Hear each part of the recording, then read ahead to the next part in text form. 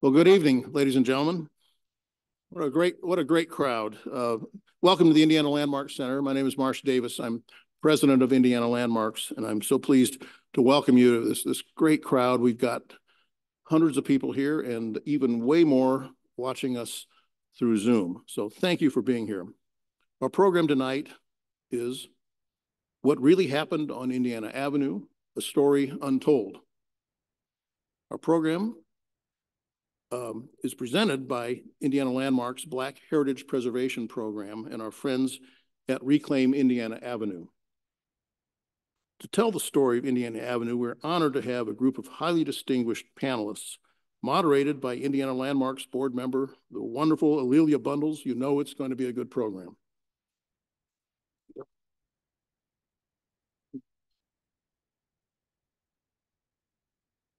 The importance of, of the Avenue and its story and its future is borne out by the amazing attendance this evening. We are, this is a sold out crowd. And again, there are hundreds more joining us um, remotely. I'd be remiss if not mentioning uh, that Indiana Landmarks is a membership organization. Our work around the state and our Black Heritage Preservation Program depend on support from our members. If you are a member of Indiana Landmarks, uh, we thank you very much. If, if you're not, please consider joining us. Membership Information is available in the lobby, of course, on our, our website. Our business at Indiana Landmarks uh, is historic places. I honestly cannot think of another place in Indiana more steeped in history and culture and community than Indiana Avenue. Tonight's reflections on its past, we sincerely hope, will help inform the future of Indiana Avenue and those entrusted with shaping that future. Now, to get things start, started, uh, please welcome my esteemed colleague, the Director of Indiana Landmarks Black Heritage Preservation Program, Eunice Trotter.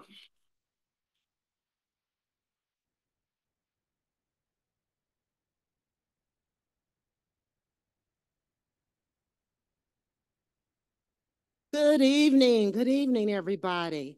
Thank you for all being here. Uh, both in person and virtually. We had over 1,000 registrations for uh, tonight's discussion. As uh, director of Indiana Landmarks Black Heritage Preservation Program, my job is to uncover, document, and preserve Black history and Black heritage statewide. And that preservation work extends to not only things that have physical evidence, buildings, churches, cemeteries, but also things where there has been erasure and there has been significant erasure of Black heritage. Funded by Lilly Endowment, the National Trust, and the Winstons, this program, which has been in existence for a little bit more than a year, has provided more than a quarter of a million dollars in grant funding for the preservation of Black heritage sites and history statewide.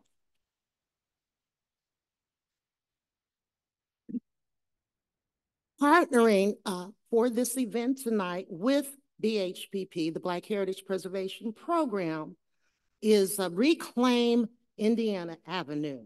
Um, Please stand Paula Brooks, who leads the organization, which has worked tirelessly to represent the interests of Indiana Avenue area residents. So Paula, raise your hand in the air, Paula.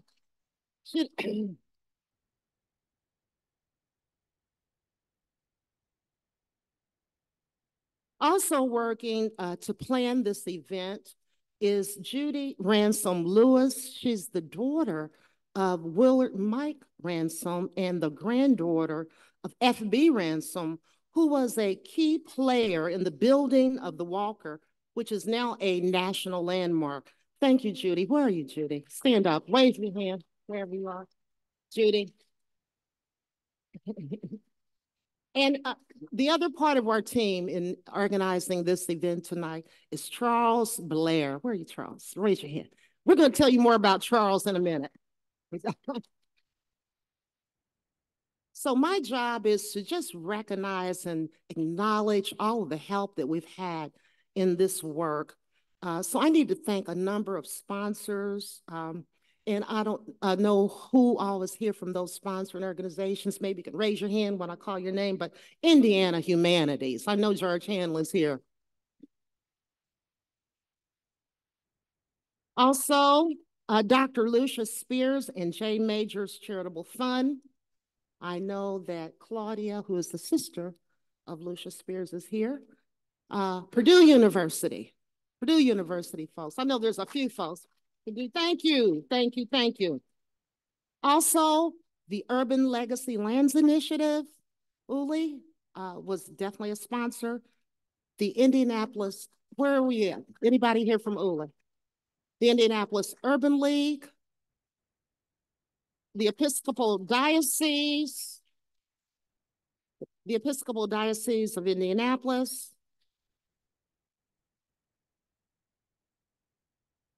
PNC Bank and IUPUI Africana Studies Department. Thank you. So uh, thank you also to Indian Landmark staff and volunteers. We have a number of staff and volunteers who have helped us organize this event. They have and are continuing tonight working very hard to make this event happen. Thank you all very much. Also, thanks to our wonderful moderator, A'Lelia Bundles, and our esteemed panelists who you will hear more about soon. Thank you, Aaliyah. She has been the best moderator person I have had to work with, so I thank you for that. I also want to acknowledge uh, EKLA, EKLA studio principals who came here from New York, and I haven't had a chance to meet you. Are you here tonight? EKLA are um, part of the firm that is doing the strategic planning for Indiana Avenue. There. Oh, there they are. Okay, thank you for being here. They flew in from New York to be here too, by the way, everybody. So today is uh, the first day of Black History Month. So please go to our gallery in the basement down on the floor below to see the wonderful Black art exhibit by Insight Art Promotion.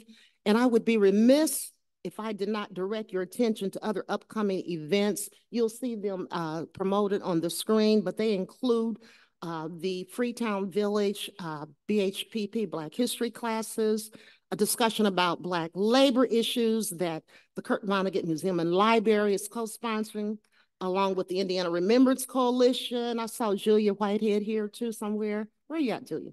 Where are you? Okay, there she is. Okay. And then we're also going to be showing the film Reviving the West Baden Colored Church. These are all organizations and uh, events that are seeking to preserve that heritage. And then watch for information about our Juneteenth celebration, which will be held Sunday, June 16th, highlighting some of the top gospel and blues artists in Indiana. So if you're interested in being a sponsor, please let me know. Now, we have lots of ground to cover, so I want to hurry up and bring on stage Charles Blair. So as Charles comes, I will talk to you a little bit about who Charles Blair is. Charles, um, as a senior program officer for Lilly Endowment, um, was responsible for developing numerous initiatives, including the creation of the Madam Walker Urban Life Center, which was organized by Charles to save and renovate the world famous Walker building designed by Rubush and Hunter with guidance from Madam Walker's daughter. Charles also oversaw the 1987 Pan Am Games youth outreach, which uh, resulted in some of the most significant youth programs in the city, including the Indianapolis Children's Choir. Charles has worked extensively in minority economic development, education, and civic engagement. He also advised and led the capital campaign for Martin University. Uh, Charles is also my friend. and we worked together at the Indianapolis Recorder, which uh, I owned for some years. And he is an all-around nice guy, ladies and gentlemen. I am bringing you Charles Blair.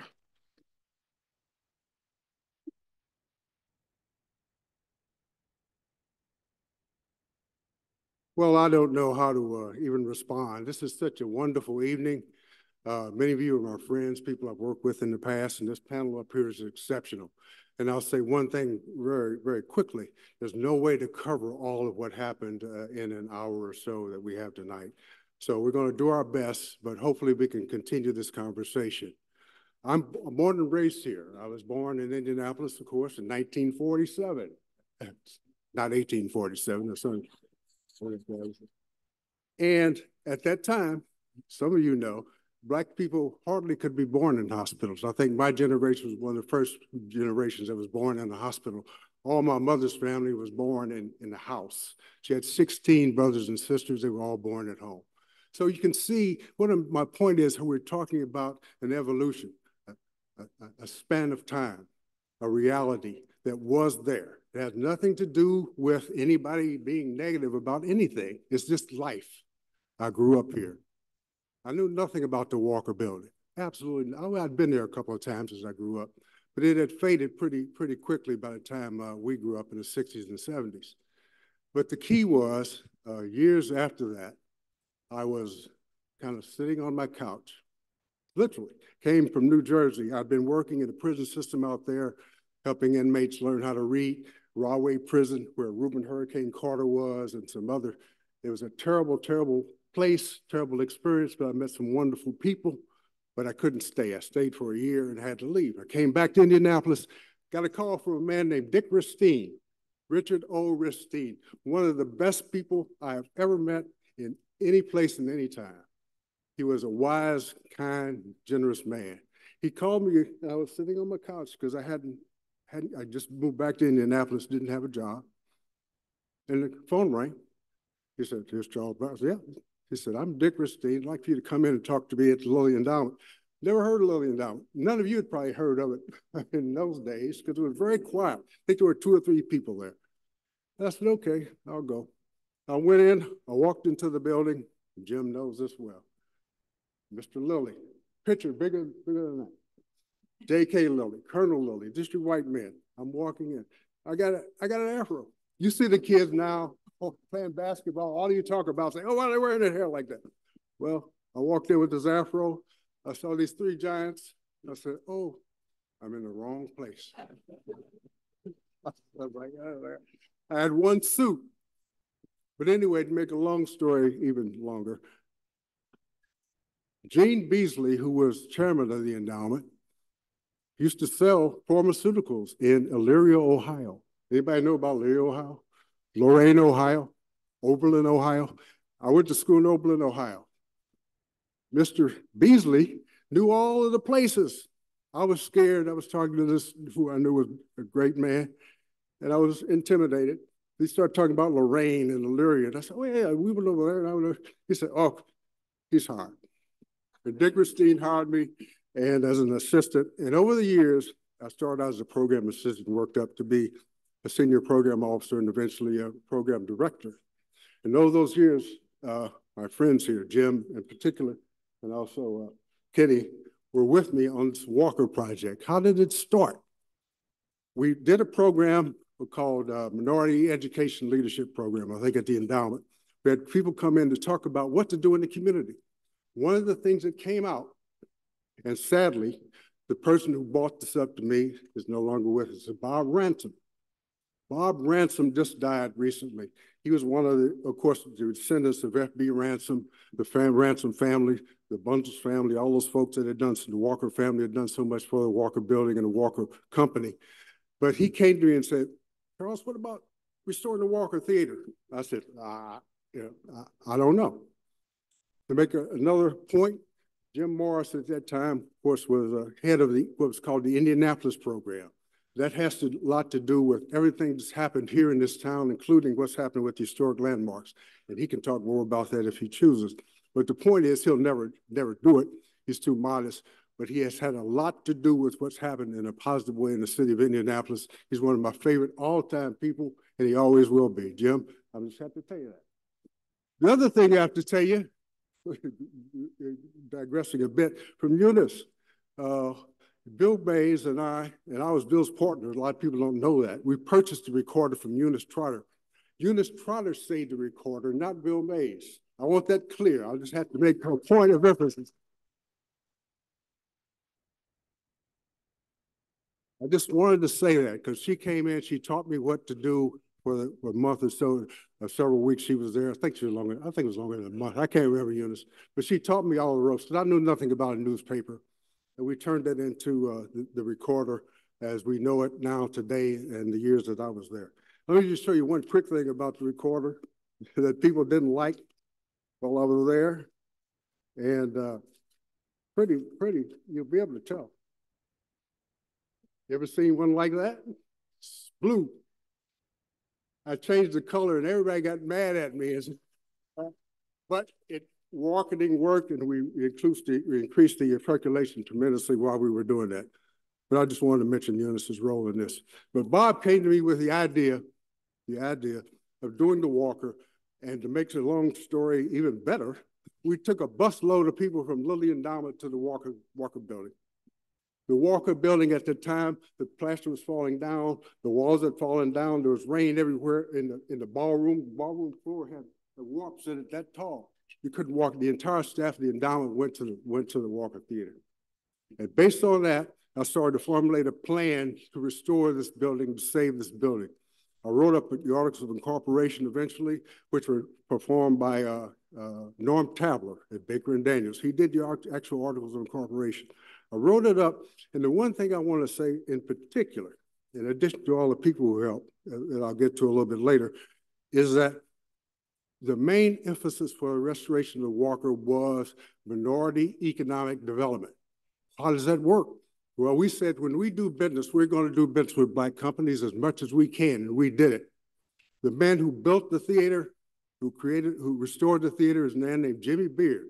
I don't know if Jimmy's here. No, he's not. Jimmy Beard did such a great job on the Walker Theater. Michael Browning, who you may all know from being, of course, Mike Browning Investments, told me that there was no way that he could have done that work for the cost that we paid him. He paid, he did an exceptional job, a wonderful job. He's never been mentioned. Jimmy Beard has almost never been mentioned. And from that point of view, he built his business, he built his family, he sent his kids to school. The whole idea of minority economic development is for people to do, to grow, develop, and create things. And that's what we were about. That's what the Walker's intent was from the beginning. Now, somewhere along the line, I think people have forgotten the economic development aspect of it. I don't know how much businesses the Walker does with minorities. The other thing that Ken Warren will talk about later on is something we called BOSS.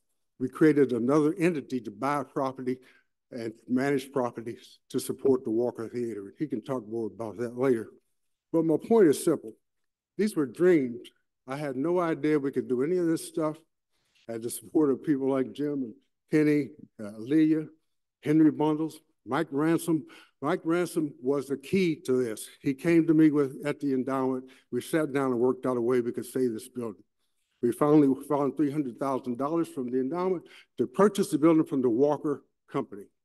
The Walker Company and the Madam Walker Urban Life Center, the only two entities that have ever owned the Walker building. The board that I set up and chose was primarily African American, but it's from all walks of life. Henry was on the board, Henry Bundles. Dr. Taylor, Joe Taylor was the chairman. We did some wonderful things with that board and we were able to save the building and it's still there, as you know, to this day. The last thing I want to say before, uh, before comes up is simple.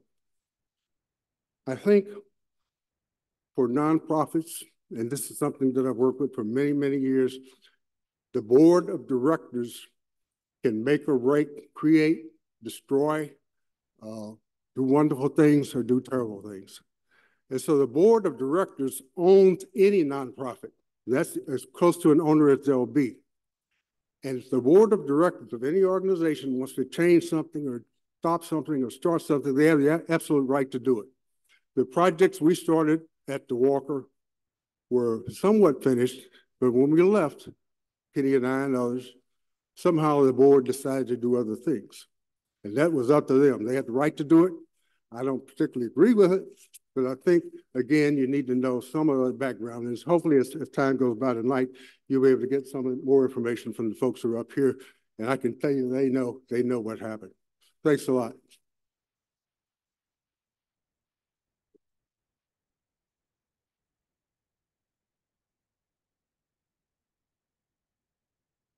So as Eunice said, an all-around nice guy. Um, and I owe you a debt of gratitude and the Lilly Endowment. I mean, just the fact that the building is still there uh, and that it's a beautiful building. But yes, a lot of dreams that were thought about, you know, haven't happened, and that's part of what we're going to talk about tonight. Um, I thank you all. I thank the Planning Committee, uh, Indiana Landmarks. I, it's a joy to be on the board because of all of the great work that Indiana Landmarks is doing, and it's a joy to work with Eunice. Where's Eunice? I think, Did she sneak out? Oh, there you are. There she is. Okay. Welcome to all of you who are here with us tonight in person and virtually. I, I just have to say, wow, a thousand people registered. And who said that history isn't interesting and can't draw a crowd? We care about this topic. We care about what happens on Indiana Avenue and in Indianapolis. And this really is a historic gathering and quite a coup to have Charles and these particular panelists on the same stage together. To borrow a line from Hamilton, these are the people who were in the room. Ken Morgan, the first executive, yes, it the first executive director of what was then called the Madam Walker Urban Life Center and the former president of BOSS, Business Opportunity Systems. Jim Morris, former president of the Lilly Endowment and now vice chairman of Pacers Sports and Entertainment.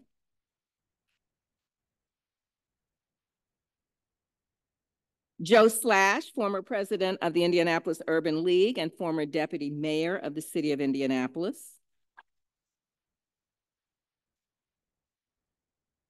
Fay Williams, an attorney, a civil rights activist, and as I learned last week and during our conversations, a former social worker in the Indianapolis public schools. And I will also say the wearer of the most fantastic cowboy boots I have ever seen.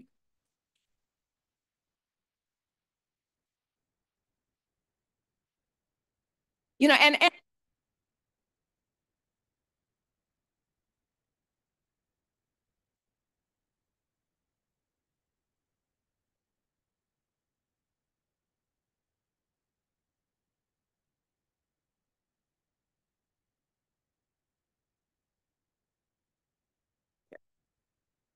As I listened to them share their personal experiences during our planning meeting, I realized just how much of the Indiana Avenue story is not known, has not been told, and is in danger of being lost. There are dozens of stories, dozens of perspectives, dozens of interpretations, dozens of players, and many, many competing interests. Before we get started, let me share some numbers that were compiled by Jordan Ryan, the current city county archivist who worked closely with the late Paul Mullins on some of his important Indiana Avenue history research. And if you haven't gone to the Digital Encyclopedia of Indianapolis, please read Paul's entry on Indiana Avenue. For perspective, I think it's important to know that what happened with the construction of I-65, I-70, the IUPUI campus, the IU Medical Center, and downtown Indianapolis redevelopment are all intertwined. So consider this. More than 17,000 people were displaced by the construction of I-65, I-70, and the IUPUI campus.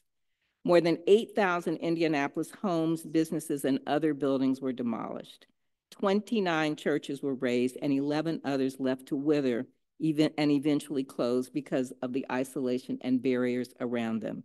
320 acres in and near downtown Indianapolis were condemned for the new highway system. And a key caveat from Jordan, these numbers came from a newspaper, from newspaper accounts of the time and are believed to be significantly understated. She is working on the digitization of photographs from the archives of the Indianapolis Preservation Commission that will show exactly what was lost and what was demolished. The collateral damage to communities and families continues to this day.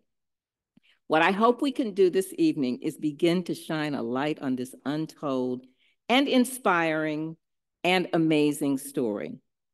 We are only going to be able to scratch the surface. The truth is this panel could really do a week-long conference. But you are going to have a joy in being able to hear them.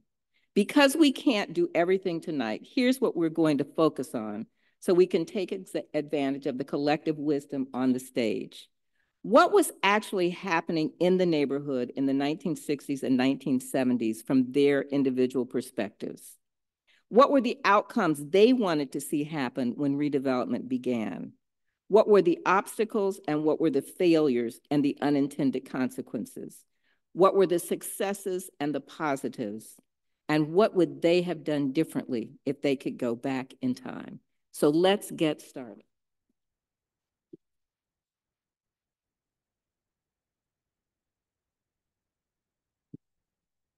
Okay, am I on? Oh, excellent, excellent. So we're going, I'm, we're going to start with a question for everybody, and I will start at this end with Ken. Ken calls me Lily, I call him Kenny. So if that slips out, that's, you know, that'll happen. So please share your memory of Indiana Avenue, the 60s and 70s. I mean, you actually lived on Indiana Avenue for a while, but I would just love to have you help us have some context of what was going on on the cusp of the changes. Well, I lived on uh, Fayette, Fayette Street um, for a while and uh, went to school four and school 40 in the neighborhood. Uh, my first job was selling recorders on Indiana Avenue. Um, one of the finest remembered is, is the Walker Building, and that's for a lot of us recognizing what the Walker Building was.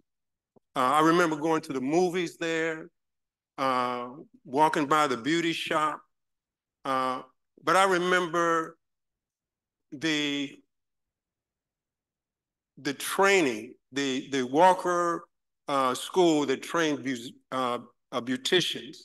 Uh, my mother was a beautician. My sister there, they are graduates from Madam Walker's Beauty School.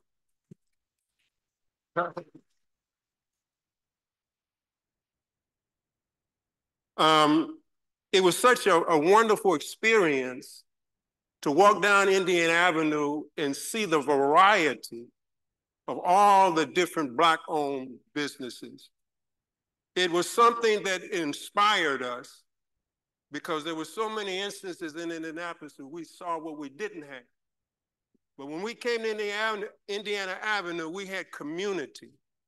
It wasn't just community for the people who lived there. It was a community for all African Americans. That was home. That was our community. That was where we were inspired by what we saw, examples of what we could do.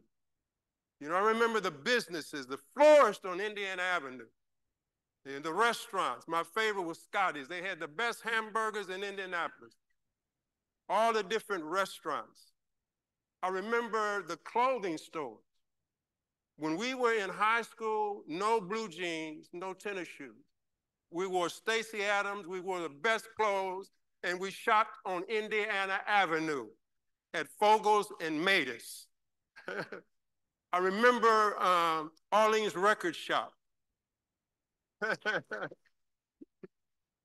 yeah, I remember the Frederick Douglass, the nightclub we used to go to when all the other nightclubs closed. um, but it was it was so many different different businesses, and then Lockfield Gardens. You know, I had family lived in Lockfield Gardens. Remember playing on the Dust Bowls, basketball.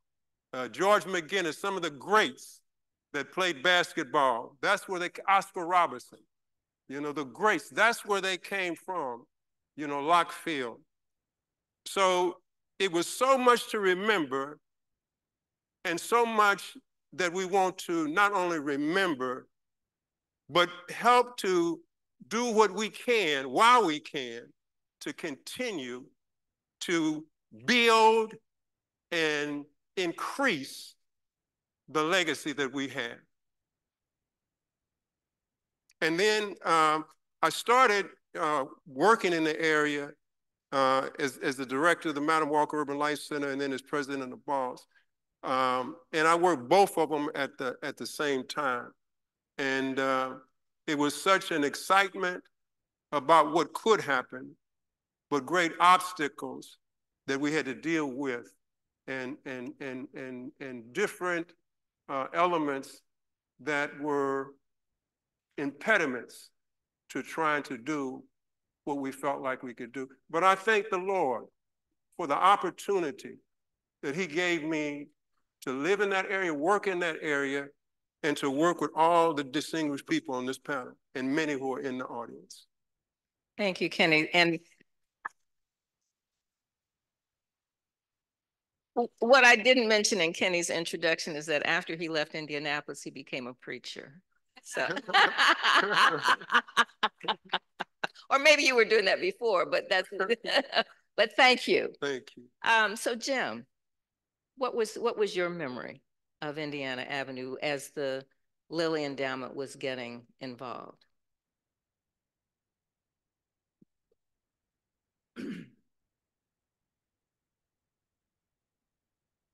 I'm very happy to be here.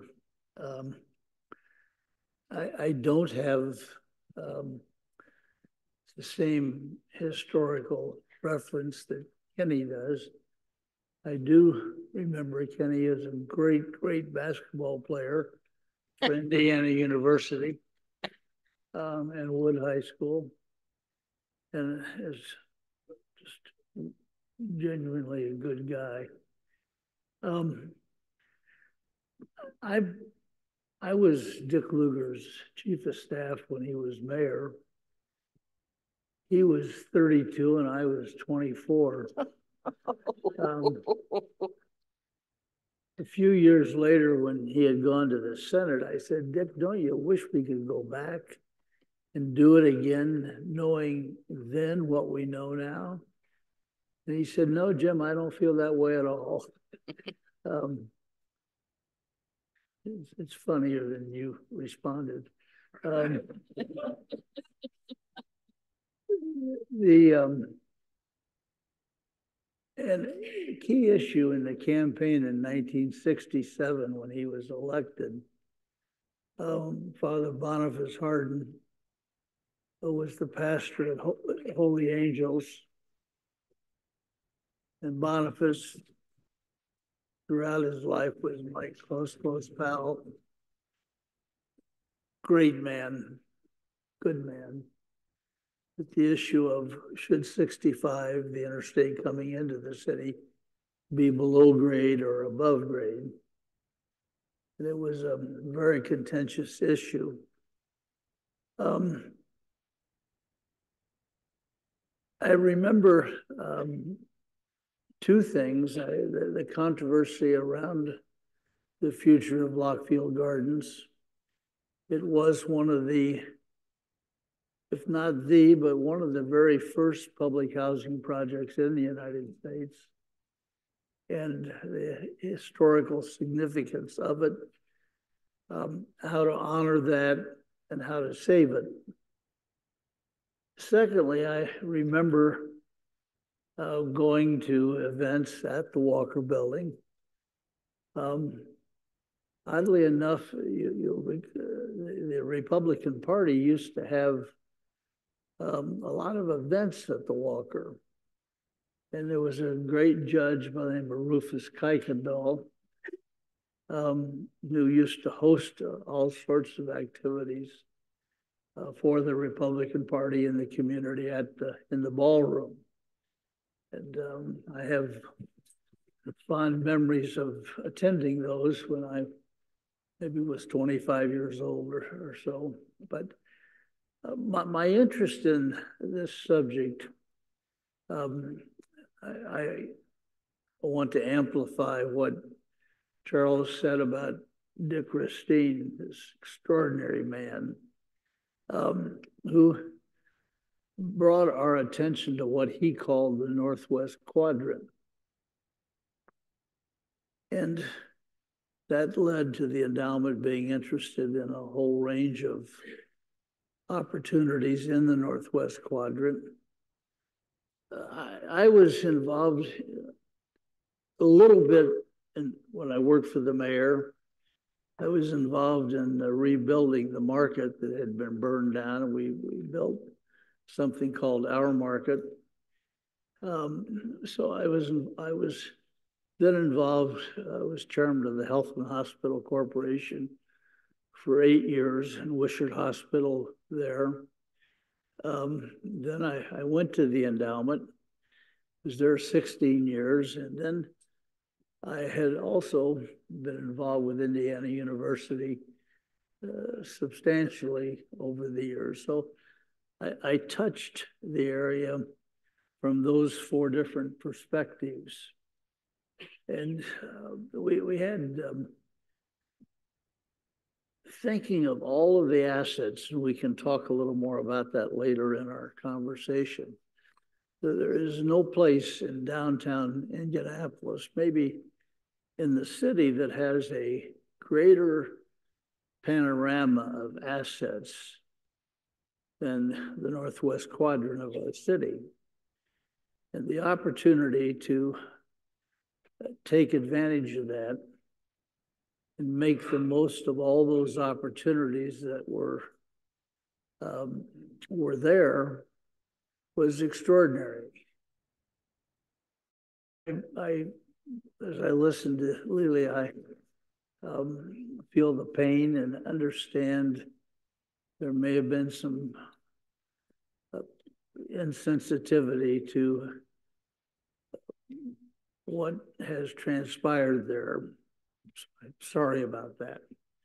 Um, but I want to talk a little bit tonight about the opportunities that are in that area. And they are beyond extraordinary. And um, I do remember Jimmy Beard, and I do remember the endowment's commitment to the endowment's an extraordinary place, by the way founded in 1937 by the two brothers and their father. Um, they would have preferred to do all that they did in complete anonymity. They never, ever wanted the attention or the credit.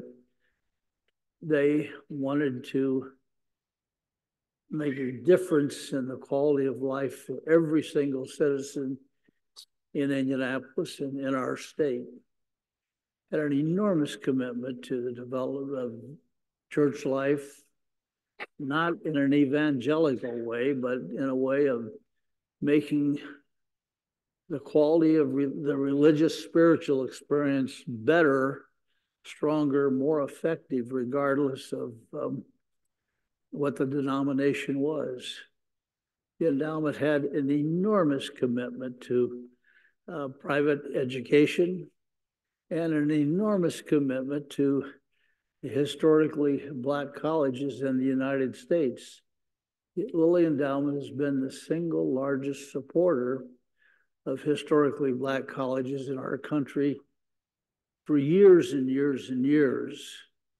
And their, their commitment to do the right thing, to make life better, to be inclusive, falling short like we all fall short from now now and then, but um, the commitment to the Northwest Quadrant to redo the Walker Building, to save it because of its historical significance to the broader community, to the African American community, and to do it right. And then by the way, they've sustained that commitment now for, you know, for more than 40 years. So um, my my wife says, Jim, you ramble on. Um, and she also says you ramble on without regard to the subject.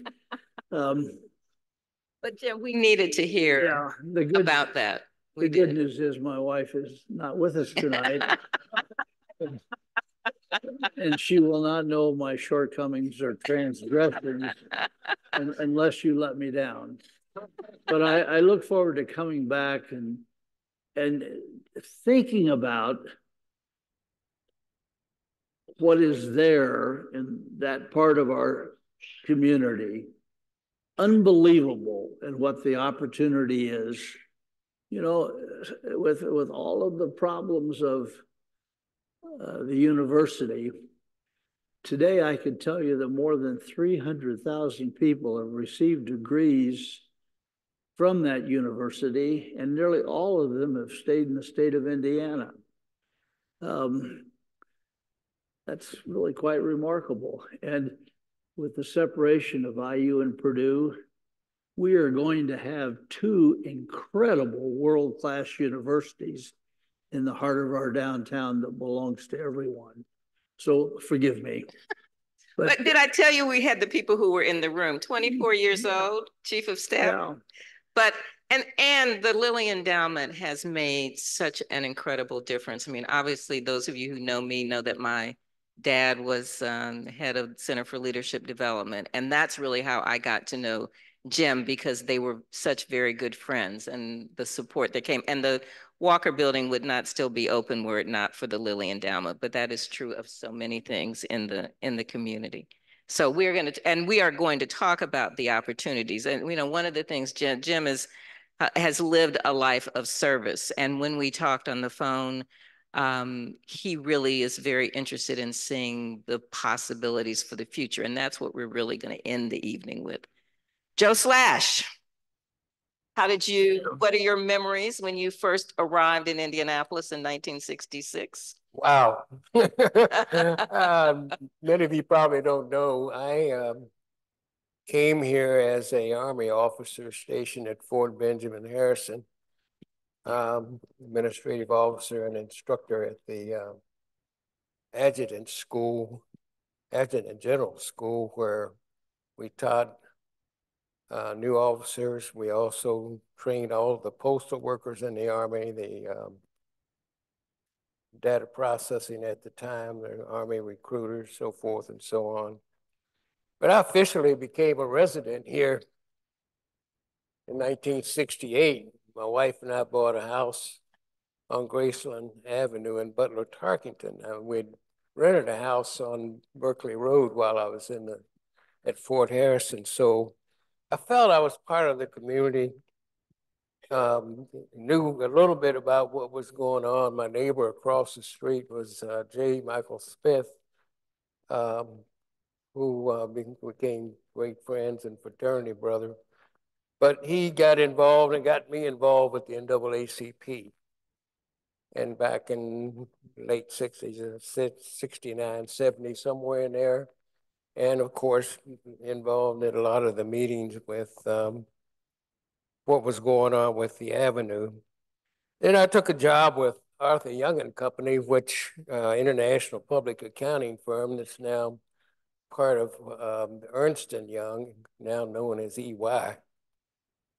And my managing partner there had come down here from Chicago, where he had been on the board with the Urban League. And he got me involved with the Urban League here. Fairly new organization.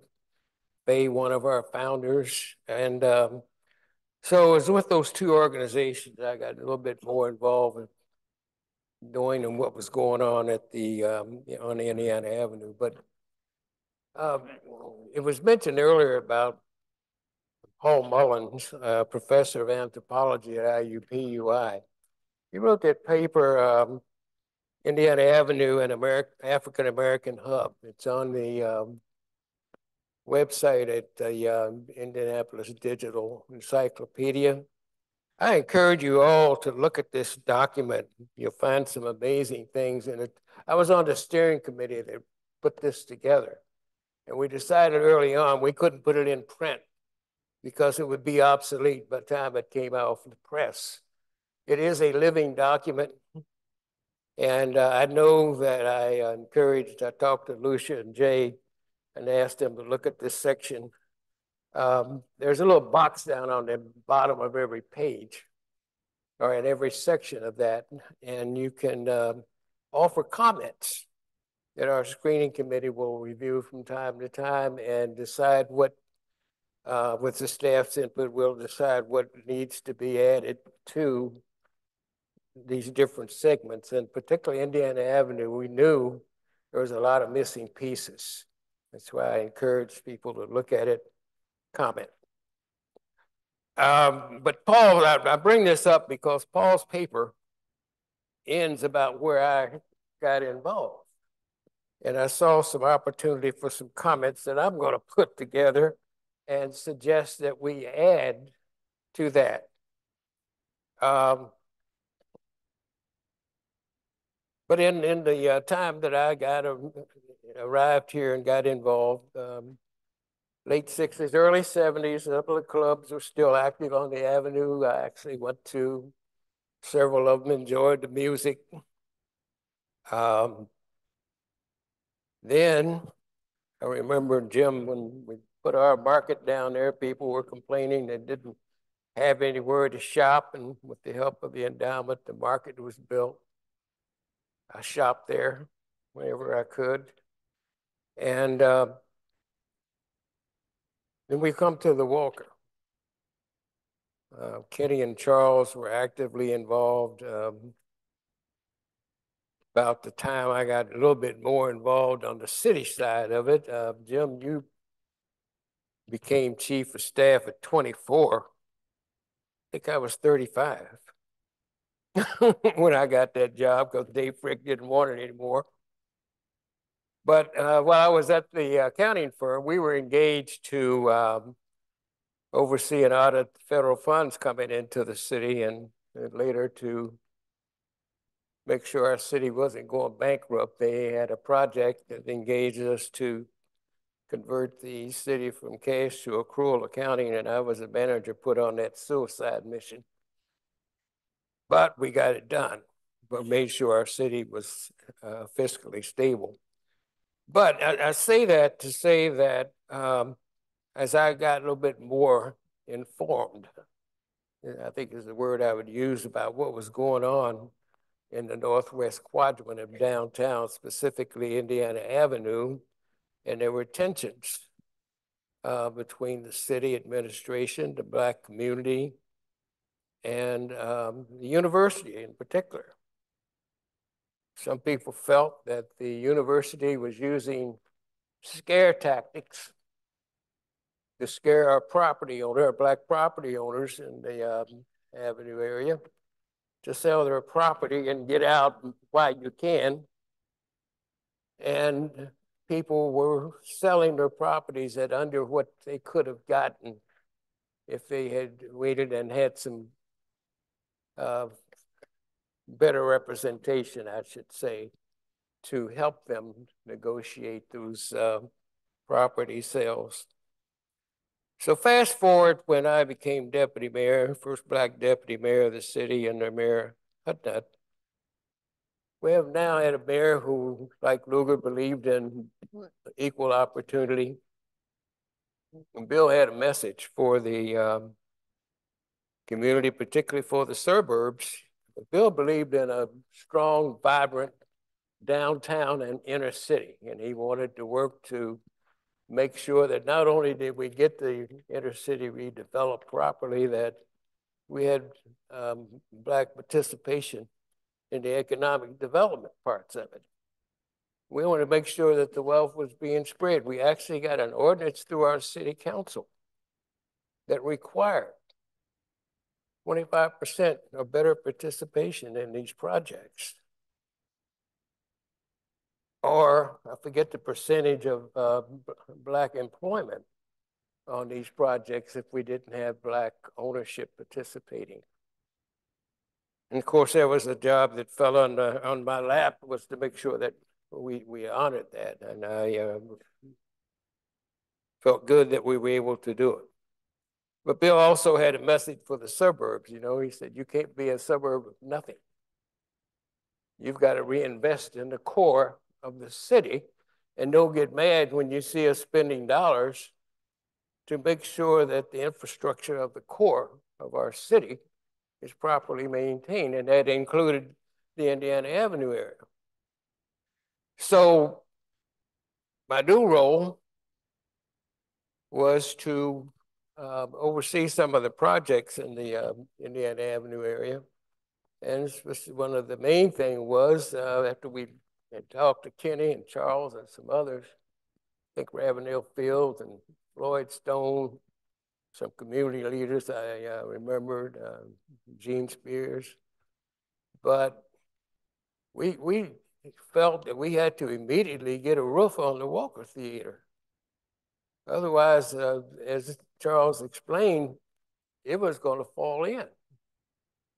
Well, we also had the same dilemma with um, the old Indiana Theater downtown, where the Indianapolis uh, Repertory Theater was moving into, and I was a member of that board before I went into mayor's office, um, and I knew what problem they were facing with the theater.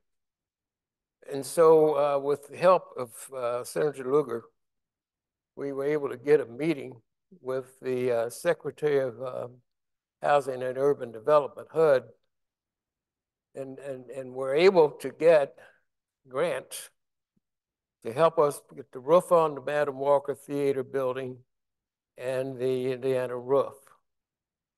Uh, also, uh, in order to make the the compromise that was reached with Lockfield Gardens was that um,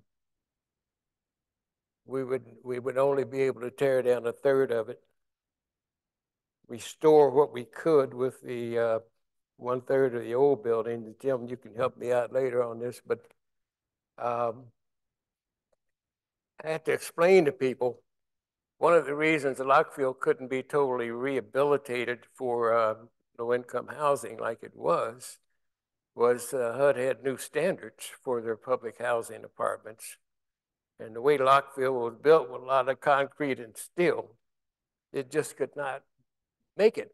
We couldn't upgrade it, but it would be suitable for student housing. And so well, the third piece of what we were asking for from uh, HUD was to get a uh, historic preservation grant uh, to help us with um, what we could do with the uh, Lockfield property. And so with that, um, we were able to get that done.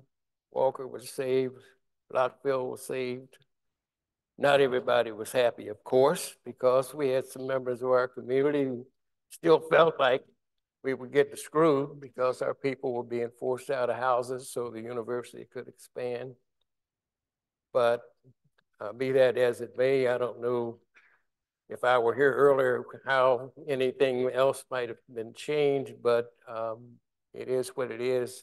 And I had to work with what I was given to work with at the time and felt like we did get those things done. Thank you so much, Joe. And that's why it's so important for us to hear these stories.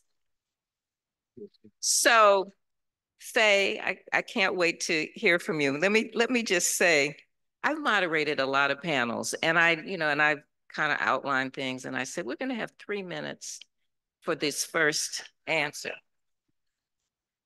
You know, I knew it wasn't going to really be three minutes, but everything that all of you have said has been important and necessary to hear. So that just means I will, instead of, you know, my seven questions, we're really only going to be able to do two more. So, but, but, but no, but no, you're, you're coming, but Fay. And you Fay, warning me that I. no, no, no, I'm, no, I'm not warning you. Because, you know, eh, but. It's a little, no, no, Fay, I can, Fay, there is, there is no warning that I can give to Fay that will have any impact. So I just, I just want you to understand that. Okay. Um, but uh, one of the, you know, Fay, when you know, I've known Fay sort of a, around for a long time, but one of the things that I said that stuck out for me as everybody is giving their memories of what they knew, how involved they were. You know, some people have stories now about the avenue and what they remember. And Fay just kind of, you know, quietly said, well, I was a social worker at school four and I knew the neighborhood. I was going to the homes. And so Fay, you bring a perspective that nobody else does, in addition to all of your activism. Yes. So go forth. Thank you. Thank you. I am forewarned. That's yours. Thank you. My introduction to Indiana Avenue happened three weeks after I arrived in Indianapolis in March of 1955. I went to work for a company called the R.L. Polk Company, who had the contract to develop and publish the city directory. And being new to the city and not really knowing a lot about it, I welcomed the opportunity to go to what I had heard about was a fun place to be.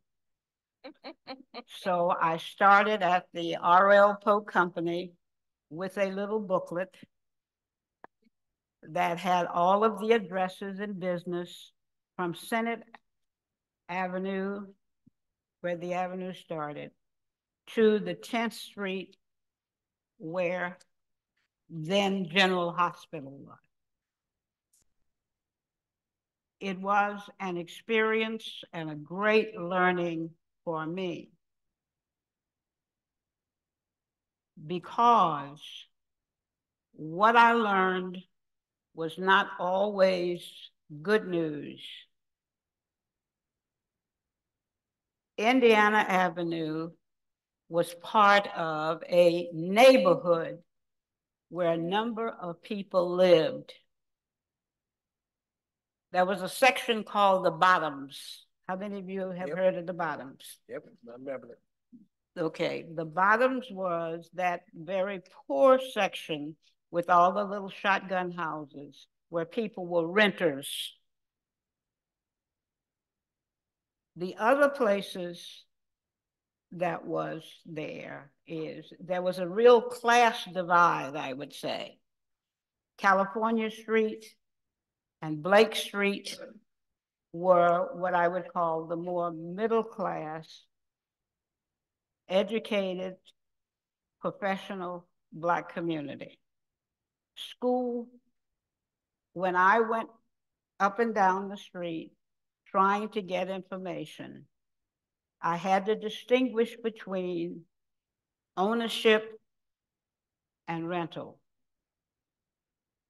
I discovered that most of the restaurants and taverns were not owned by the people who operated them. They did not own the land.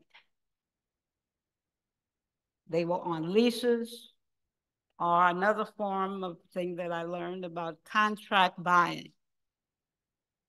People bought houses and businesses and buildings that were on contract.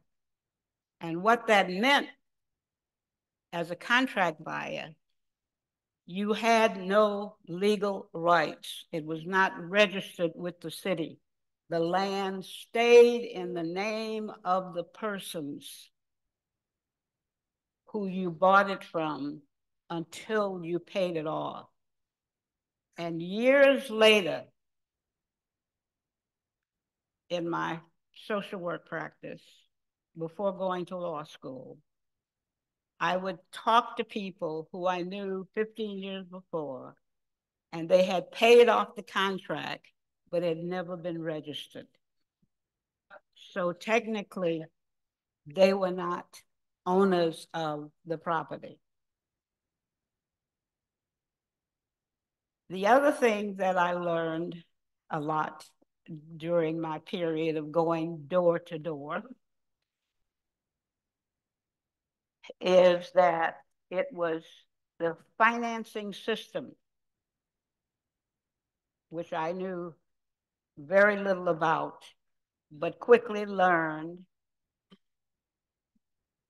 that most of the banks in Indianapolis did not lend money or have mortgage money to certain areas of the city. That is not uncommon in any city that we go to at that stage of the game. Uh, I moved to Indianapolis from Houston, Texas. That's why I wear these boots, you see. I'm, a Texan, okay. okay. And the one thing that I found different here in this city as different from Houston, where I moved from here, is that the land ownership policies were very different. And it did not have the same variety of banking institutions. Most of the banks were family owned. Mm-hmm. When I met Jim, he worked for AFNB, is that right? Okay. The Frenzels, the Kennys, and the people who were in charge of the financial good health of the community were a very small but tight-knit group. As I walked up and down the streets of that area, I soon learned who the real owners were. Uh, Kenny mentioned the clothing stores. There was Fogel's. Mm-hmm. Okay.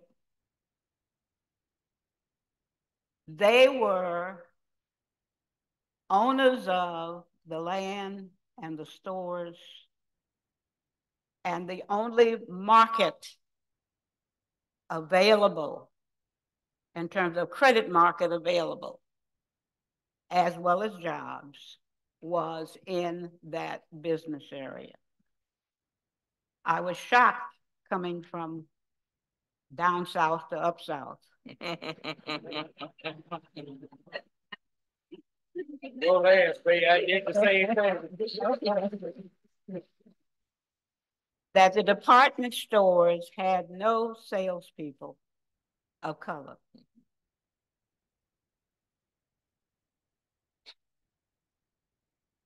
And even though there were no signs like I had experienced in Texas, colored white, the social practices very much call for these things. And Indiana, the section around Indiana Avenue were important in terms of both the economic, social, and cultural life. The businesses that were there, which were totally black owned and controlled,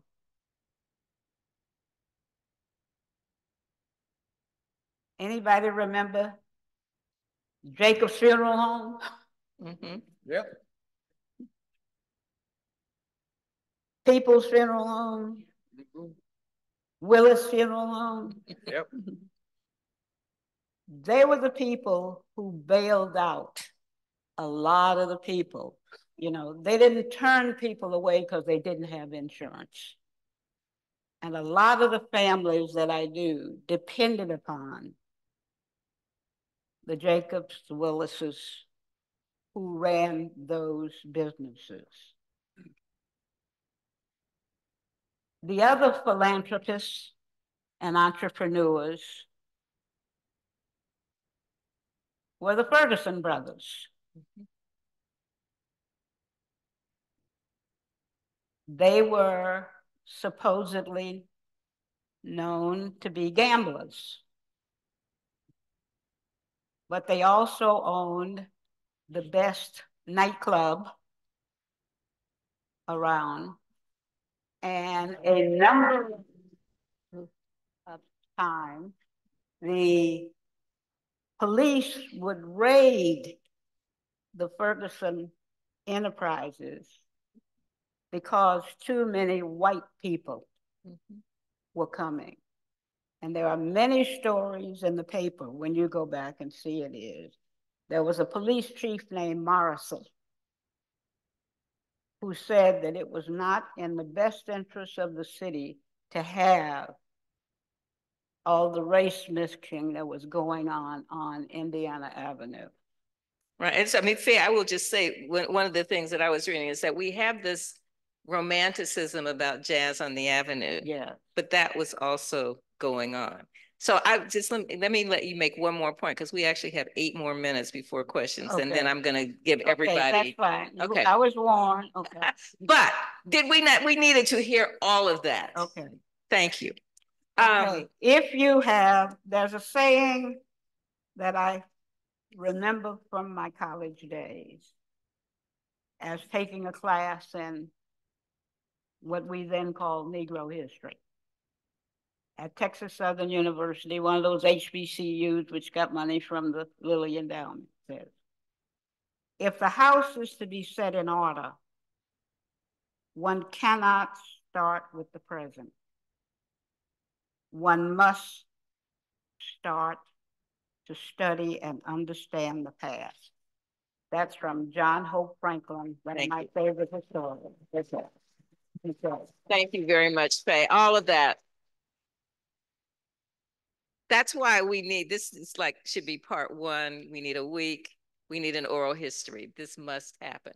So we have eight minutes. So that means kind of a minute and a half for each of you. And I'm going to ask you, and we're also going to get questions from the audience. So you'll be able to get um, to answer some other things. But since we are not doing our 15 questions, we can, if each of you would kind of do a closing statement, either on what you would have done differently or what you see as the opportunities. Kenny? Can I make a uh, deviation from Mhm. Sure, yeah. But a minute, but you have a minute and a half.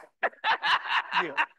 Yeah, I, I, I, I want us to, I want us to have a, a understanding of what was accomplished. And a lot of it came from Charles, Jim, and a lot of other people. But one of the things was the restoration, you know, of, of the Walker Building, and, and we're more familiar with that, uh, with the funding from the Lilly Endowment and other people. But there were some other things that were done. It was done in a in an extremely difficult time because there was no market for new residents moving in and new commercial development. So it was it was difficult to prime the pump to try to revitalize that area.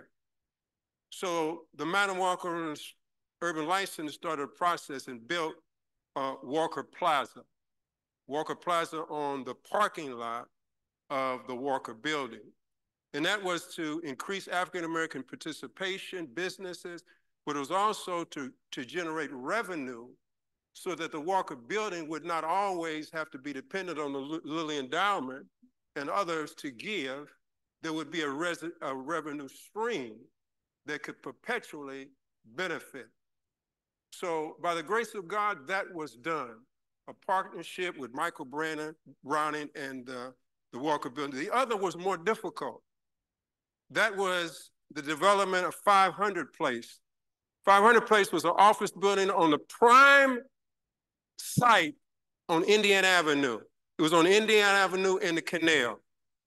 It was a partnership between BOSS, the Madam Walker Urban Life Center, and MEDIC, the neighborhood organization and it was to support all of those organizations with future revenue as owners. These were the owners of the building, but it was also to generate more African-American participation. So there was a black dentist who, who, who located her business on the canal in that office, in that office building. Um, it was a tremendous problem trying to get financing because at that time the, the interest rates were 18%. And all of the downtown housing and, and, and real estate development had stopped. But by the grace of God, we had a partnership that provided the money, the Lilly Endowment, LISC, uh, a number of other agencies, and that building was built. It's there now. It was listed as one of the 10 best buildings that LISC had funded during their 10 year anniversary. And So some of the Kenny, you know, applicants- Kenny, I do not want to cut you off, but we really do have like Okay. three minutes. Okay, so. and, and, I knew this was, I knew this was, I was gonna have to be the traffic cop. Okay. So, and I, and I just want to end with some of the people. Oscar Robertson's construction me- company let me was just one of the contractors on that building. and you can ask more questions. Jim, you talked about the opportunities, what you saw on Indiana Avenue. Just give us some inspiration on what you think could happen, what you see as the opportunities. I guess I'd rather listen to Kenny. Um, Well, you know, that's, you know, I, I know, I'm, I'm just, I'm only partially kid, kidding. Um, we, we've seen Mass Ave take off. We've seen uh, Fountain Square take off. Um, I, I can remember when Indianapolis didn't have a single hotel. I can remember when we had hardly any restaurants. Today, there are 81,500 people employed in the hospitality entertainment industry in downtown central Indiana. Um, USA Today said Indianapolis was the number one convention city in America. Whether that's right or wrong, that's what they said. When, when you look at the dynamism of our downtown, and I, I do believe the next five years can be the, the greatest in our city's history. Uh, with Elanco coming downtown, with expansion of the convention center, with the new amphitheater in the White River State Park, the expansion of the zoo, the two great, I mean, you can't do better than IU and Purdue with all their shortcomings, but they're both committed to building a world-class institution in the heart of our downtown, a university that hopefully will belong to everyone, bringing all the strengths they have with a focus on research and development and a focus on the well-being of young people, opportunities for kids. The new CLD Center, CLD has helped 50,000 kids since it was started by Henry Bundles. I mean, it's, it's on Martin Luther King Boulevard, not so far from the Northwest Quadrant. Um, the, the list goes NCAA headquartered, the High School Federation headquartered, a new arena going to be built on the campus for IU Indianapolis athletics. Um, the incredible development of IU Health, uh, extraordinary actually, and, and none of that would be there, by the way, without the leadership of Frank Lloyd a good many years ago. Um, th this is an extraordinary environment the Historical Society, the new state library being built on the canal, um, and the list, you know, the new Phoenix Theater. We, have the potential to do something incredible. And, and we need to think big. We need to think about our legacy, what we have to build on. Um, I hope that this would become one of the great music centers in the country with a great emphasis on gospel music and but, uh, but we need to bring our our best brain power and we need to form the partnership that Kenny was talking about with and uh, you know this is a city that has done a better job with partnerships than most places. And um, the Lilly Endowment is extraordinary but without people, without Kenny and Charles and uh, A'Lelia and her family and Henry, it, it wouldn't have happened.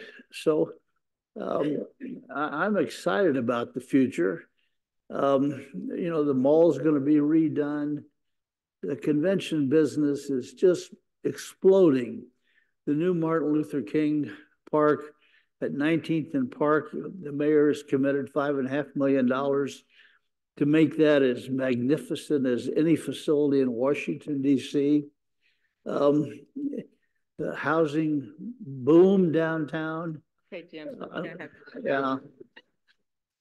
Yeah. But we that's why we Yeah. need part two. But I will tell you, when I came in this afternoon and I saw the basketball floor that's been recreated in the airport, if you haven't been in the airport, this is popping. This city is popping. So By the way, the the NBA All-Star Game will have a $360 million economic impact on our city. Will be broadcast to 200 countries around the world. 3,500 media will come here and this all fits together.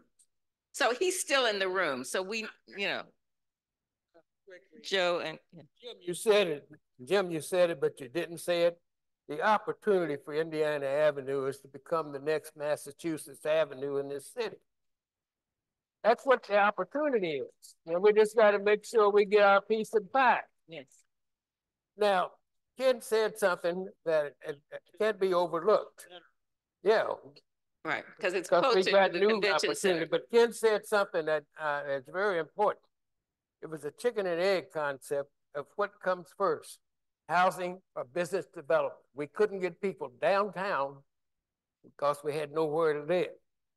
The real estate developers weren't going to build anymore downtown because there's no place to shop. Our friend Richard Blankenbaker, who served me in the city as public safety director, arranged a meeting with Joe O'Malia, who owned O'Malia stores. And we were able, John Kraus and I were in that meeting with him, and we were able to convince Joe to commit to a store in the old Sears building if we gave it to him rent-free for a number of years and the mm-hmm. city would make the improvements, then he agreed to take a chance to put a grocery store in downtown. That's what it took to trigger the real estate developers to commit to housing downtown. And if we're not for that, we'd still be having that conversation about economic development on Indiana Avenue. Right, But, but but it we've takes got a great will, and that's, and and that's what we need. yeah, Faye? My concern is that we spend so much time talking about physical development and not human development.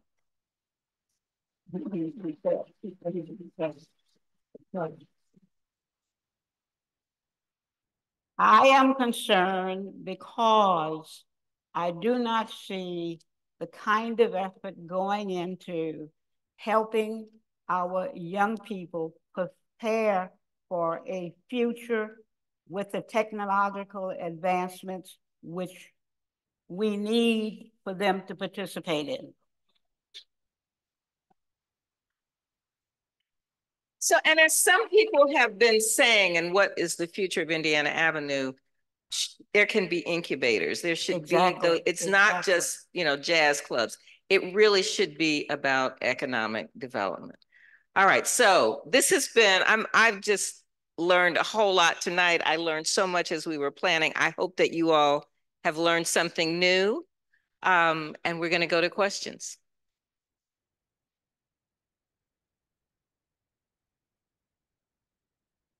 If you've written, I guess cards have been handed out. Well, you need a microphone because we're taping, so you. So i- i- if you can give me the, the question, because there are, there are people who are watching, so.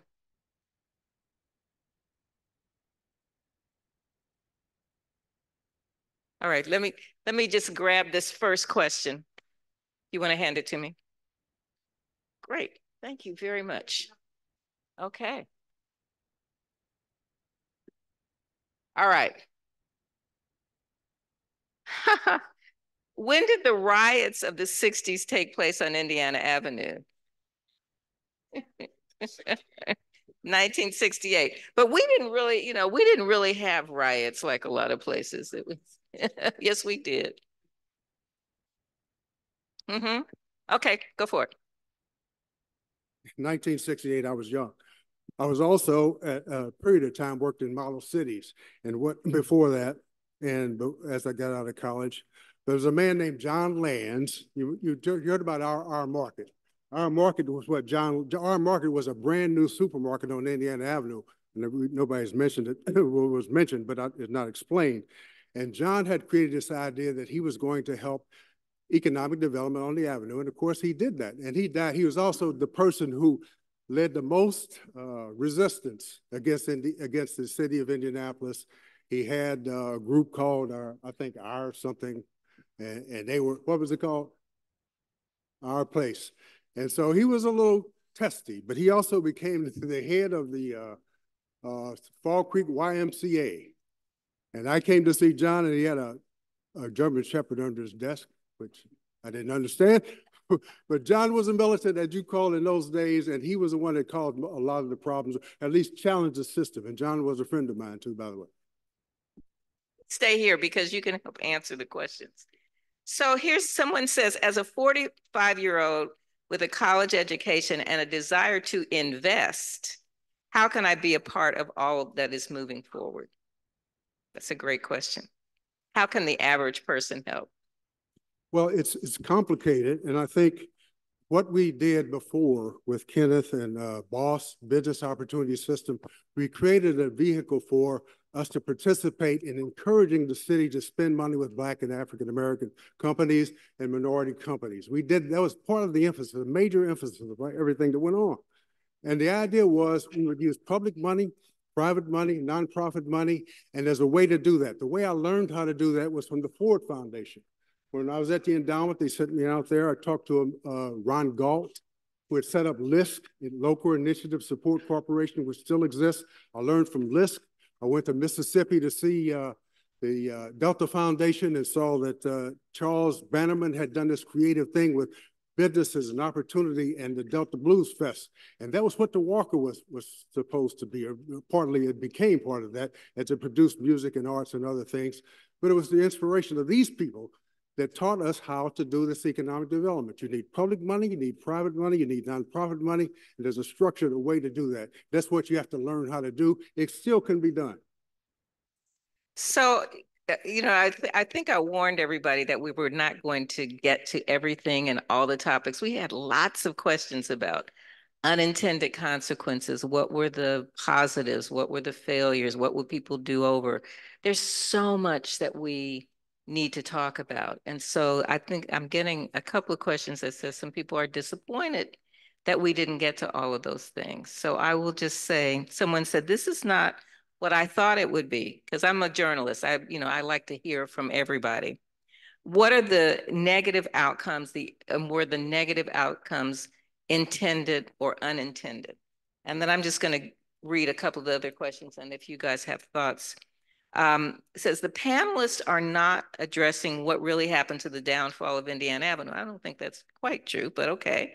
Um, they are talking about the problems that were encountered by the disruption of the Indiana Avenue community and the current revival. And who is downtown for? Interesting question. So who is downtown for? Anybody want to take that? Questions you mentioned. Um, mm-hmm. You know, it, it's it, it's an it's as someone who moved away from Indianapolis in 1970 when I went to college uh, a thousand years ago. It has been so amazing to me to see how Indianapolis has developed. Some of the things that that Jim was saying. Um, you know, and at the same time, there's there is the law of unintended consequences, breaking up the neighborhoods. The, what happened with the highway, it scattered people, and so people who had community, there there's generational trauma around not having community. I'm looking at Charlie Richardson here, who's with a Rethink Coalition, and so there is a lot of work to be done with human capital and the sense of how do we belong? How do we feel about how we belong? But I have been encouraged uh, in the last few years when I have seen things like Butter, like Gang Gang, I'm the involvement with the uh, with the All Stars to see the some of the younger people. I mean, you know, they're not young, but they're younger than I am, who really care about culture and who are really interested in economic development. And it's just trying to take hold of it and take ownership of being included. But it has to happen as a partnership the city has to be involved, the developers have to be involved, the philanthropic community. Kenny? It's been difficult for Indianapolis to to to learn and apply as much as is is is needed, but not only for Indianapolis, it's been for other cities similar situated. Is how do you create win-win? How do you have win-win situations, balanced benefit? How can Indian Avenue remain what it has been for the African American community but understanding that it won't be only for the African-American community based upon how Indianapolis is expanding. The challenge is how do you create balanced benefit? And that takes time and that takes effort. And the opposition to that is when people want to do things quick. And when developers call the shots. And this process needs to be done so that not only does it benefit Indiana Avenue and Indianapolis, but other cities in this country are looking for examples of how you have sensitivity and compassion as well as excellence in development. How do you accommodate the different interests and how do you do it in a way that people can be proud of? And I think that is that's our challenge. But I think we have the resources to be able to do that. But don't look for something quick. Don't look for something easy. Look for the difficult things that's going to bring the greatest impact and create a legacy that we all can be proud of. Balanced benefit. Joe? One of the questions that came forward was uh, what happened in the downfall, and they're not talking about problems. Uh, I think the major uh, downfall and problems created was the number of people displaced without equity in this community. Uh, while I was uh, deputy mayor, uh, we were going to make plans to bring Interstate 69 all the way down from Castleton through downtown, like 65. And uh, I was to host a community meeting out here on the east side uh, in the Mapleton uh, Fall Creek area. And very quickly, I, I, I, felt an urge to call Mayor Hudnut and say, this ain't gonna happen because I ran into a room full of people who had been displaced from Lockefield and Indiana Avenue area who moved out there and were promised this will never happen to you again. And you know what? We didn't talk about doing that again either. But the major thing that happened was all of the community was displaced. Our community network that, that supported the school four, school 40 that fed into Crispus Attucks, that was a community just like the community I grew up in, in West Virginia. Now, the difference is when, when they planned to put Interstate 64 through our community in Huntington, we had a place at the table. And it didn't happen. So my word is as we go forward, I learned something from someone years ago, Tom Benford said, you can't solve any problem without having people at the table who are going to be affected and people who can do something about it. And that's what happened as the plans were originally being made for the redevelopment of this northwest quadrant in downtown. We were not at the table. It was only after um, the mayor put together uh, what we quietly called the city committee wasn't a whole lot of publicity about it, just a few people. Jim is aware of it. Oh, but Dr. Frank Lloyd. All women. All women. All men, but and, and State Representative Bill Crawford were at the table. And that was the first time people of color were put at the table in that closed door room. And so that's very important to make sure that whatever happens going forward, we have at the table the people who are going to be affected and the people who can do something about it. Okay, so yes. and Faye, you were saying who was not in the room? There were no women. Yeah, there were no women involved in the city committee, Jim.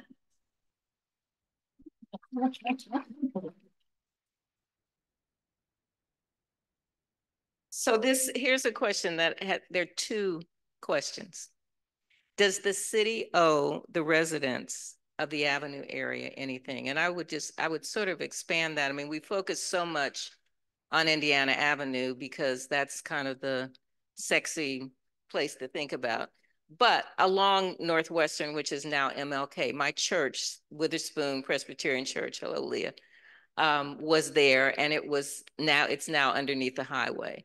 Martin, the Martindale area where Eunice grew up. There are neighborhoods across the city that were really destroyed. So what does the city, does somebody who owes something? And that's, that's a question really of reparations.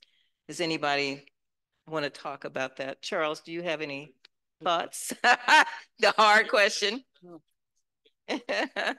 look, my, my point of view, I'm, I'm, I was born and raised here. I grew up with the, the era, in the era of segregation. Uh, I went to college, became what was called then a, probably a militant, had the afro, all of that stuff. Because why? My mother and father worked together, worked for 60 years together. I mean, he had a job, she had a job. They both had 30 year careers, working class people. I understand, I understood, and I understand that the only way out of uh, uh, where you are, if you want to get a little bit better, is two or three ways education, employment, uh, opportunity, economic development, business development. Those are the ways out. There's nothing radical about that. But I wanted our community, Black people in particular, to get out of the frame of reference of what is a ghetto. I have I never lived in a ghetto. I lived at 3537 Orchard.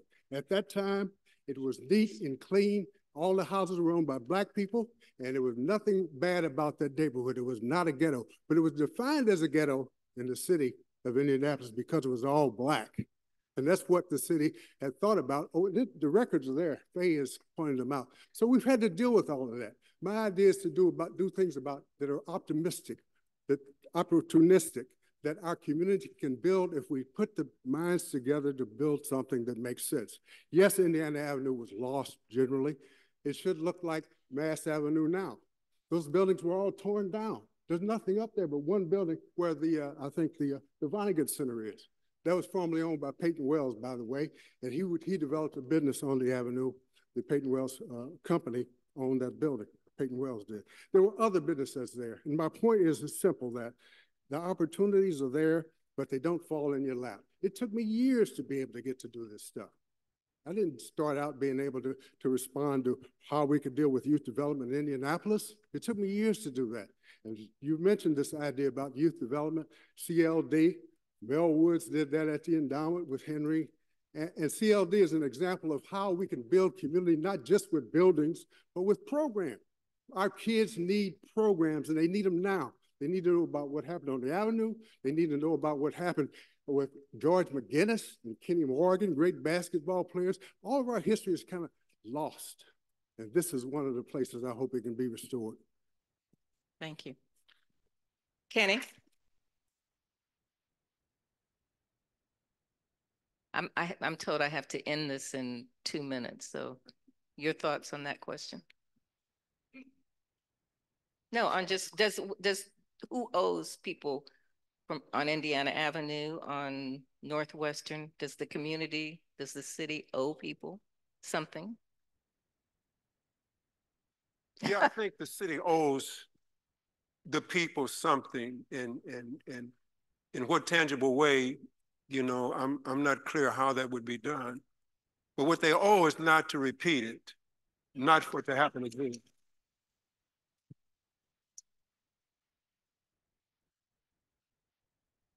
Yeah, that's what that's that's the debt that needs to be paid.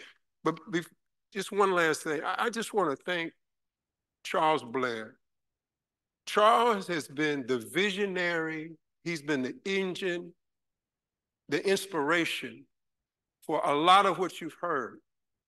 You know, he's usually in the background, doesn't say too much, but he has been a dynamic person that I have had the pleasure of working with and a lot of what has been accomplished has been because of Charles Blair. And I want to give him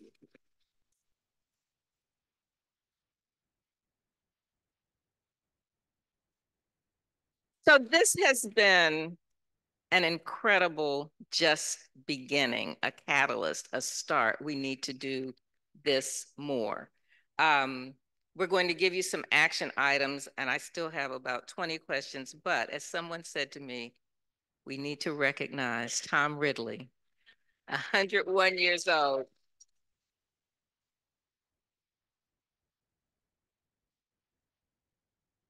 I'm sorry, A'Lelia. I'm sorry. I got to Tom Ridley. When we were at the Walker Building, we had Jazz on the Avenue. Ridley told me about everything that ever happened on the Avenue. And I have to say that Floyd Stone, all these other people, Kenny Morgan, Bernard McCullough, all these people really helped us do this thing. And I just want to acknowledge that fact. What Kenny said was really him. he did the work, and he he's he's the guy that I, Kenny's a lawyer, by the way. Not only a preacher, but he's a lawyer. Yes, that's true. He is, he is, he is all, he's Renaissance man. We have so many questions, but, oh.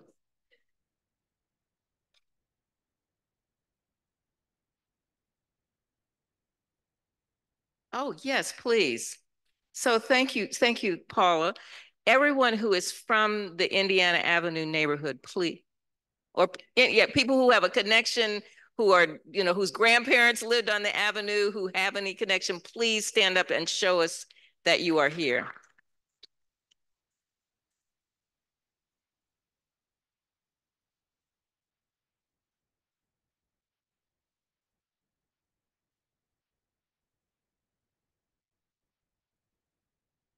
And Paula, of course, has been just a force in making sure that people remember the legacy.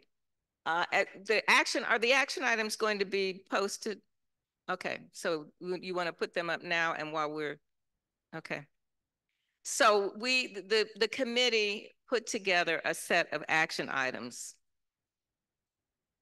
And this is very nice. And these will, and you will, you will get the lists and the links if you signed up. Huh? I don't know. I, you know, you, that, that, that's a payback for them women not being in the room. What can I, what can I tell you? One one thing. One Okay, thing. go, on, go I, on, I just have to tell you, I've had, I've had some difficulties in my time and without my family, Margot, who's right there, and my son over there, Chad Blair, raise your hand, Chad. And his family is Addison, his daughter, Avery, his, his Avery, by the way, is named after Avery Brooks, who was my best friend. In addition, Avery Brooks was the one that saved the design of the theater. He came in and told us not to destroy the balcony. But the great Avery Brooks from Star Trek, Deep Space Nine, and uh, Spencer for Hire, he's my best friend, and he did help save the theater. So I just wanted to say that. Not Bye, family. I love you all. My my mother-in-law's there, my brother-in-law, Chad's brother-in-law, and his wife Danielle, Avery, and Abby. Say hi. They're they're why I'm here, and Margot too. And you know, and as you look around them, there are so many stories. I mean, like we friendships, family relationships, people who have made a difference. But with all of us in this room together, we really are are leaving with a charge. And here are some action items, and they will be po- you will get these these in an email. Go to public meetings and hearings, attend city council meetings, or talk with your counselor. Attend Department of Metropolitan Development Commission or Board of Zoning Appeals hearings. Join Indy Documenters. Documenters are trained and paid to take notes or live tweets at local public government meetings. And I know I've been seeing some of the, those, uh, the reports on Mirror Indy. Stay knowledgeable about new real estate developments. Join your neighborhood association subscribe to your local news outlets, and there's a list here that will be sent to you, Indianapolis Recorder, Mirror Indy, Indy Star, Indianapolis Business Journal, Inside Indiana Business, Indy Today, Axios Indiana. So Eunice and I are journalists, as is Charles, so we think it's really important to read these, these, um, or read these um, media outlets. Uh, educational resources and organizations, Indiana Landmarks Black Heritage Preservation Program at indianalandmarks.org. Er, Marsh urged you to join. I urge you to support it and also the work that Eunice and her team are doing with the Black Heritage Preservation Program. Yes, Eunice. Reclaim Indiana Avenue at reclaimindianaavenue.org. Uh, Indiana Avenue Certified Strategic Plan. Elizabeth Kennedy is here in the audience. The Department of Metropolitan Development and the Mayor's Office are working on this certified strategic plan. The Rethink Coalition, Rethink 65-70 org. Indianapolis Urban League, indplsul.org. Hoosier Environmental Council, Environmental Justice Initiative, hecweb.org. Urban Legacy Lands Initiative, uli1.org. Madam Walker Legacy Center, I see Christian here. Madam Walker Legacy Center.com, Crispus Attucks Museum, Crispus Attucks Museum dot business dot site. That's an unusual list. So action items, we want you to go out of here wanting to continue to educate yourself, wanting to think about how you can make yourself be in the room. Any closing thoughts from anybody? Thank you all very, very much.